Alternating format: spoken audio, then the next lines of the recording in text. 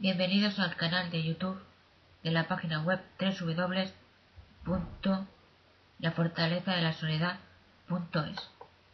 Hoy vamos a hacer la reseña del cómic número 3 del nuevo universo DC de Superman, el nuevo 52, con guion de Grant Morrison y dibujos de Rax Morales, Jen Hutt y Ricky Bryan. En el número anterior recordar que veíamos a Superman atrapado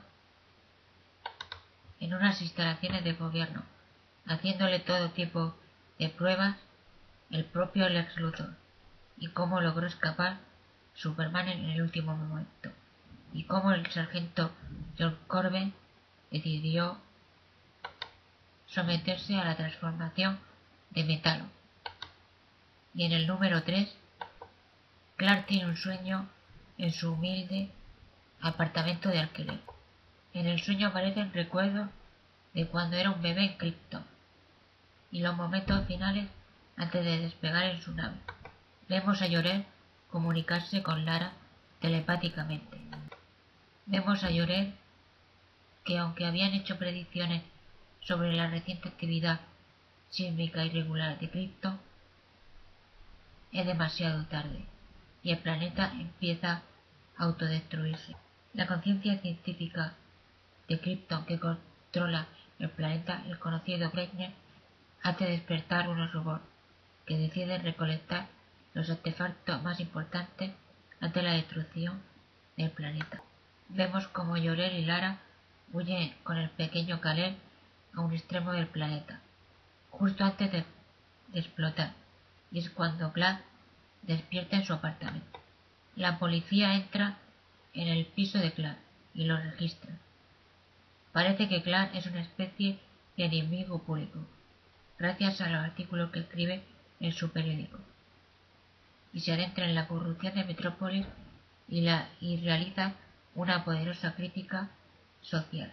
En las viñetas siguientes vemos como Clark se reúne con su amigo Jimmy Olsen en una cafetería donde también aparece Lois Lane.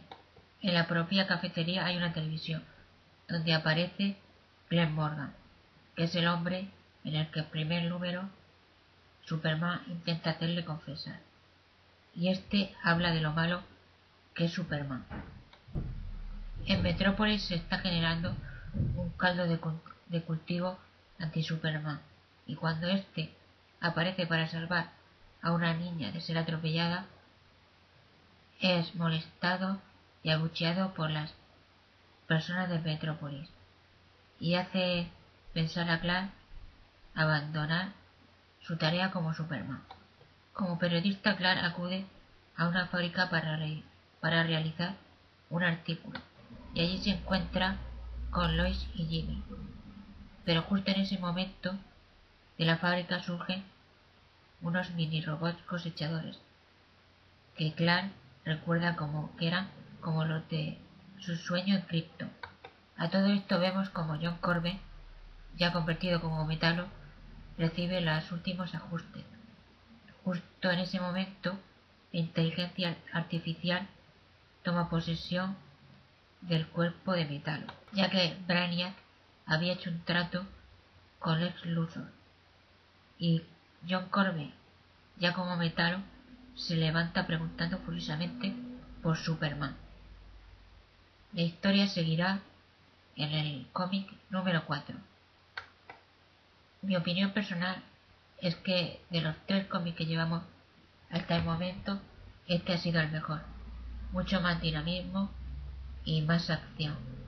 Vemos como Clark se pregunta a sí mismo qué debe hacer, si seguir como héroe o dejarlo. Espero que en las próximas ediciones de los cómics esta pregunta se tenga respuesta y vaya creciendo la aventura y el dinamismo que en este mismo cómic hemos visto. Recordar que podéis seguir toda la información de Superman en la página www.lafortalezadelasoledad.es y también en la página de Facebook que encontraréis el enlace en la web y en el blog. Un saludo, nos vemos en la próxima reseña. Un saludo.